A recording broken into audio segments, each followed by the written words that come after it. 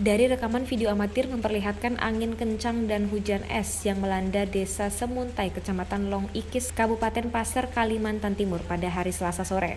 Salah satu petugas Badan Penanggulangan Bencana dan Kebakaran Daerah Kabupaten Pasir, Hendri Taham menjelaskan pihaknya mendapat laporan hujan es dari warga.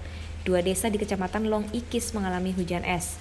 Kepala Stasiun Meteorologi Kelas 1 Sultan Aji Muhammad Sulaiman Sepinggan Balikpapan, Erika Mardianti, turut menjelaskan dari pantauan alat mereka, saat itu menunjukkan suhu puncak awan di wilayah kejadian berkisar antara minus 62 derajat Celcius sampai dengan minus 75 derajat Celcius.